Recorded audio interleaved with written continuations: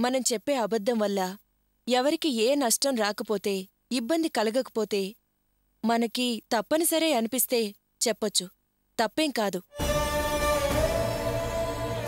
అయితే అప్పుడు అబద్ధం చెప్పచ్చా మంచి కోసం చెప్పొచ్చు. ధర్మరాజే చెప్పాడు. తప్పేం కాదు. మంచి కోసం నా దగ్గర అబద్ధం చెప్పావన్నమాట. అలా అయితే ఎవరి మంచి కోసం? అమ్మా, అన్నం తింటావా? నాకేం వద్దు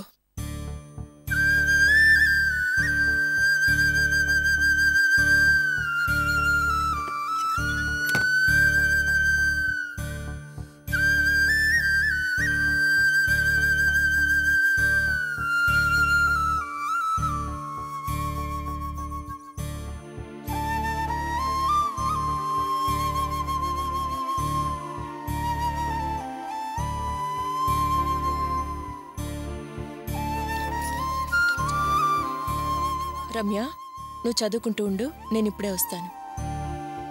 అబద్ధం ఆడరాదు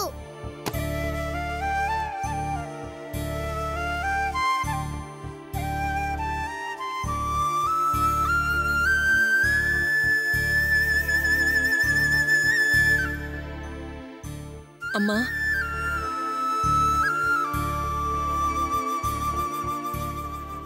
ఏంటమ్మా? ఒంట్లో బాలేదా? ఏమీ లేదు. బాగానే ఉంది. భోజనం వద్దన్నావు. మాత్రలు తెచ్చిపెట్టనా? అవసరం లేదు. నా సంగతి నేను చూసుకుంటాను. నన్ను ఒంటరిగా వదిలే. వెళ్ళు.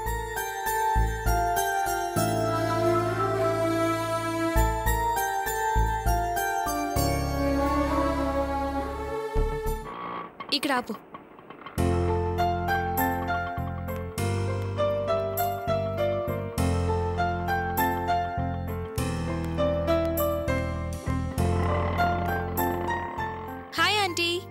రామ్మా కావ్యారా.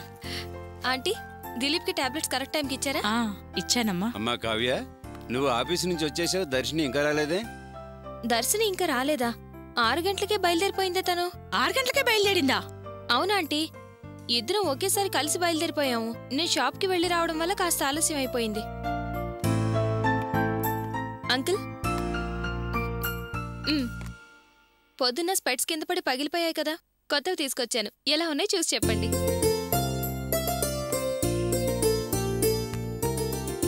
Good.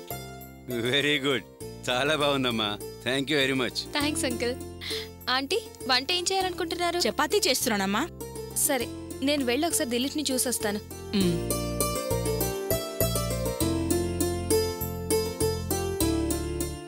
Good evening Dilip. Good evening Kavya. Bore feel అవుతున్నావా? ఎగిరే పక్షిని పంజరంలో బంధించినట్లుంది. ఆఫీస్ సెమినార్స్ పార్టీలు.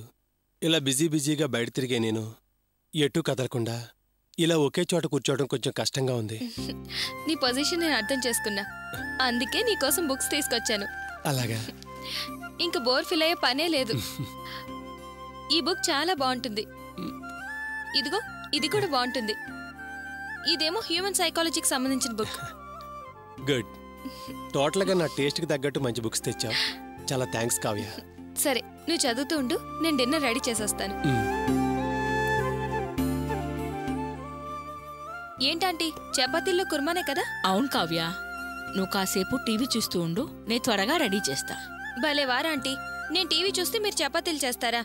నేను చేస్తాను ఇలా ఇవ్వండి. వద్దులే కావ్య. పొద్దున్నే వచ్చి అన్ని పనులు చేశావు. ఇప్పుడైనా నన్ను చేయని? అన్ని పనులకు నువ్వు ఇలా అడ్డం తిరిగి చేసేస్తే ఎలా? ఏం పర్వాలేదు. అలా కూర్చుని దర్జాగా టీవీ చూడండి నేను చేసేస్తాను. ఏమోయ్ కావ్యం చూస్తే చాలా గర్వంగా ఉంది కదూ? అవునండి.